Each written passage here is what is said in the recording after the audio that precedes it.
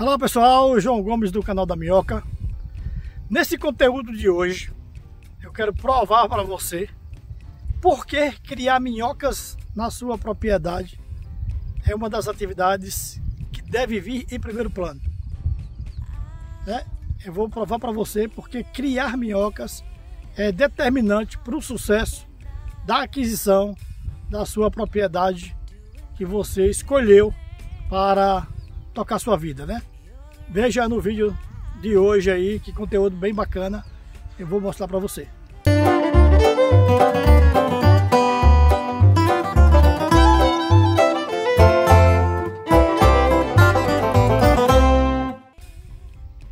Quando uma pessoa chega numa determinada fase da vida, é comum ela desejar adquirir uma propriedade, né, uma propriedade rural, seja um sítio, uma chácara, seja uma casa é, numa comunidade rural, né, afastada de, de um grande centro né, das cidades. É, é, é, isso é muito comum na vida das pessoas, né?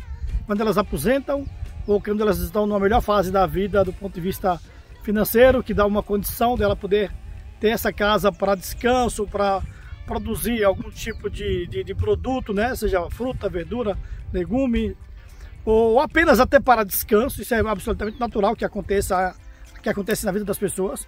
A gente vê muito isso no dia a dia. Né? Eu, por exemplo, aos 24 anos, assim que casei, é, nós adquirimos o, o, o, nosso sítio, né, onde a gente produz os nossos adubos, a gente, a gente, onde a gente mora, efetivamente, né, porque demoramos 30 anos para poder realizar o nosso sonho de, de, construir a casa que sonhávamos ter na, na, na propriedade. Então isso foi um sonho com 24 anos, mas é normal que acontece com pessoas até mais novas ou pessoas mais velhas, né? Cada um tem o seu tempo, cada um tem o seu momento de poder é, realizar o, seu, o sonho de cada um. E, e, eu sempre digo que essa relação que, que as pessoas têm para com o solo, isso é algo muito espiritual, é algo muito que vem, vem da, da, da do sangue da pessoa, né? da, da, da mente, da espiritualidade efetivamente para manter essa relação com a terra, com, com a necessidade de pegar na terra, de produzir o, seu próprio alimento. Isso é da natureza humana, isso vem desde quando existe né, é o ser humano, que, que, existe essa necessidade de estar em contato com, com o solo. Né? À toa que existe o ditado de que a gente, é, da terra a gente vem, da terra a gente volta, né? isso é absolutamente lógico, esse, essa, essa expressão popular, porque é, é de fato uma necessidade que as pessoas têm para isso. E aí, ó, o, o, o, grande motivo de estar tá produzindo esse conteúdo aqui é quando eu falo é, que as minhocas é, são os animais que vêm em primeiro plano, em primeira ordem para, para você é, escolher como, como atividade dentro da sua propriedade. Por que digo isso? Primeiro porque ela produz o, o seu próprio adubo, né? ela vai aerar o seu solo para que ele seja mais produtivo, para que ele seja drenável com a água das chuvas, com a água que você irrigar as suas plantas. E segundo, que ele vai gerar para você uma economia muito bacana, porque você deixa de comprar adubos para poder produzir esse adubo dentro da sua própria propriedade. Né? Você vai ter a minhoca para poder atender a alimentação dos seus pequenos animais, como peixes, rãs, galinhas, né? pássaros, que você vai poder estar tá alimentando isso dentro da sua propriedade. Então, veja que baita economia você vai ter podendo criar suas minhocas. Além de estar tá dando uma baita contribuição para o meio ambiente, para a natureza, porque você vai estar tá transformando a sua propriedade num ambiente extremamente saudável, um ambiente onde você vai estar tá produzindo alimentos de qualidade, criando animais com, com saúde plena, né? Porque você vai estar tá dando ali alimentos extremamente saudáveis para eles, a partir da alimentação das minhocas, segundo com os alimentos que você vai estar produzindo, com as sobras que você vai estar tendo, você efetivamente vai poder estar alimentando as suas aves, as suas galinhas, os seus pássaros, né? caso queira criar algum peixe, algum tipo de, de rã para poder como consumo ou como comercialização. Né? E falando nessa, nessa ideia dessa in, in, independência a partir da criação das minhocas, você também tem a possibilidade de ganhar um dinheiro seu com a produção do seu, dos seus adubos, com a venda das minhocas para isca ou para outros criadores, como é o meu caso. Hoje eu, eu, eu, a minha receita dentro do sítio é com a produção dos meus adubos e venda das minhas minhocas, né, que vendo para todo o país, vendo aqui para toda a região do meu estado. Então isso prova que a miocultura é uma das atividades que assim que você compra a sua propriedade, ela deve vir em primeiro plano. Você não tem dúvida que vai ser uma das decisões mais assertivas que você vai ter depois da realização do sonho de ter a sua propriedade rural, de ter a sua chácara, de ter o seu sítio, seja ela de uma área urbana, seja ela dentro de uma área rural.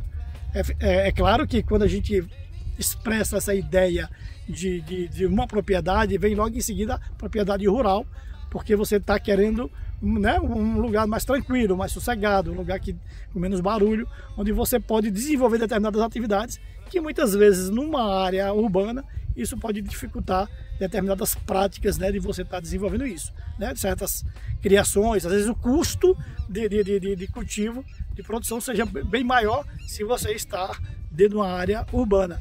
Estando numa área rural, as possibilidades aumentam porque você tem chance de comprar uma propriedade com custo bem mais baixo, né? um custo bem, bem, bem menor do que numa área urbana, né? uma extensão de área maior para que você possa realizar o seu sonho. E é evidente que quando eu falo isso, a gente não, isso não tem tamanho, né? Isso não tem, não determina que a sua propriedade precisa ser 10 hectares, 50 hectares, 100 hectares, não. Você pode ter uma área aí de 10 por 30, sei lá, até menos, para você ter a sua criação de minhocas.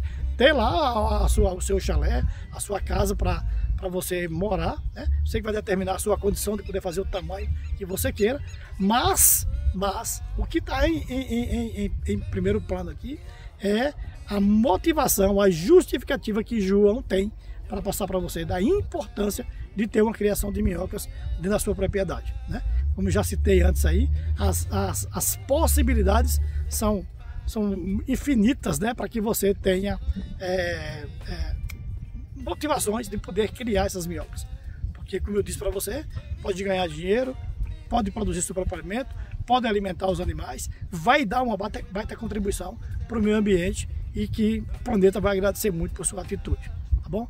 Eu espero que essa justificativa de João consiga convencê-lo de que a miocultura é efetivamente uma atividade extremamente necessária na vida de todos nós, né?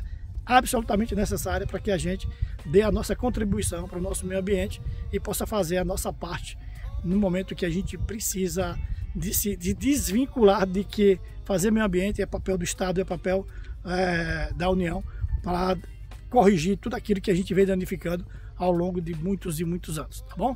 Fica aqui a dica de João nesse vídeo de hoje.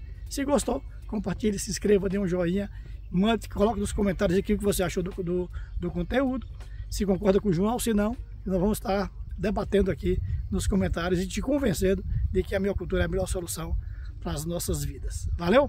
Um abraço, fique com Deus. Você que é do segmento dos supermercados, hortos, lojas de variedades e de agropet.